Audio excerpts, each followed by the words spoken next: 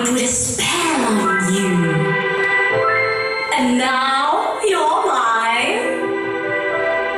You can't stop the things I do.